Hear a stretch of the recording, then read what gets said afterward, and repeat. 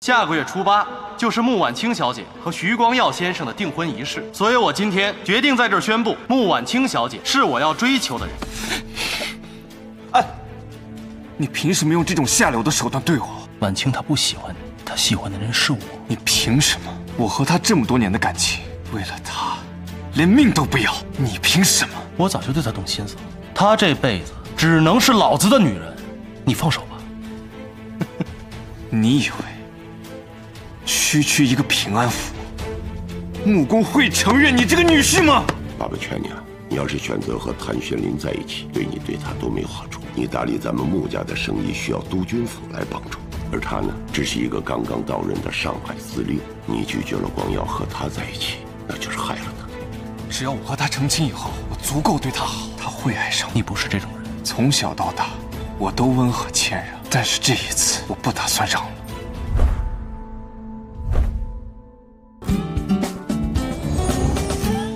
谭玄林现在在哪儿？他从民房出来之后，就带着少帅去见了穆小姐一面，又带着穆小姐回到了那处民房待了一小会儿，然后又和穆小姐去了百乐门，到现在都没出来。别紧张，有你男人在，什么都不用怕。我知道你天不怕地不怕。嗯，我现在最怕的就是你不理我。你又不正经。你说你一直在带兵打仗，那你怎么会跳舞啊？这几年不光要打仗，还要搞交际，就陪那些阔太太们跳跳舞、打打牌什么的，很辛苦的。以后有我在呢，你不用替谁打仗，你也不要去求谁给你出钱。我和整个穆家都是你的后盾。那就是你养我了。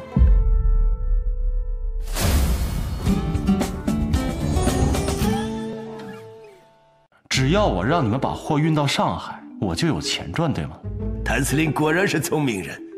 你从来都是不按常理出牌的人，你又在搞什么名堂？我这可是身在曹营，心在汉，你不会生我气了吧？婉清，我怎么觉得这两天你对我的态度好像不太一样？我们这不是各自都在忙各自的事情吗？没有天天见面，很正常。中国有句话，叫“有钱能使鬼推磨”，我想会会他。为众人实心者，不可使其暴毙于风雪。如果被人发现，我会背上通敌的罪名。他虽然在为南边做事，但他曾有恩于我，我必须报答他。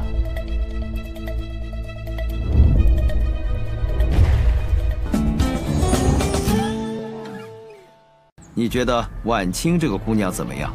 婉清秀外慧中，又与我是青梅竹马，我自然是喜欢。光耀今年啊虚岁二十五，是该给他讨一门亲事了。请督军的意思是，光耀贤侄看上我们家婉清了。婉清这孩子得体大方，两人情投意合，很是般配。爸，现在这南方的战事更紧了，如果重提婚事，只怕会遭人诟病啊。怎么会呢？时局不稳，徐穆两家更应该相互帮衬。穆公，订婚仪式就安排在下月初八。明天十点老地方见。你有什么办法了？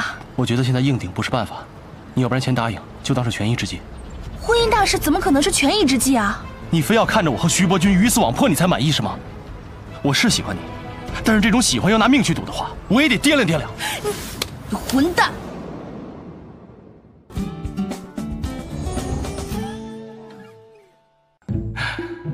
哪一场仗不是险中求胜？这一次谁输谁赢还不一定呢吧？如果这输赢要拿你的命去换，我宁愿不要。傻瓜，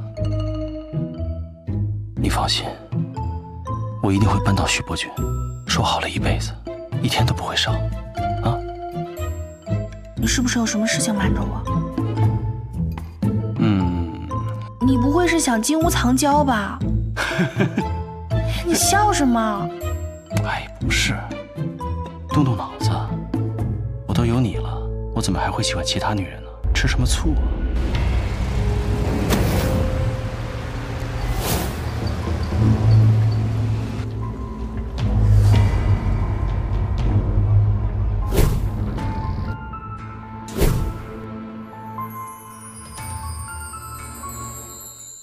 你跟你妈妈肯定有很多话要说，我就不进去了。那你在门口等我。秀芬，请您给我时间，我一定会让真相大白于天下。嗯嗯，你隐瞒了杀死穆远航的真相，还不惜献出生命表忠心，是有求于徐伯君吗？如果不是你，我妈妈和哥哥的仇都不知道什么时候才能报。谢谢你。你看啊，这上海都是我的地盘，只要有我在，你一定会平平安安的。我两次喝醉酒都是你陪着我。你这一次不会又把我当成徐光耀了吧？又？你看你都忘记了，上次你被人下了药，迷迷糊糊的，都不知道自己干了什么。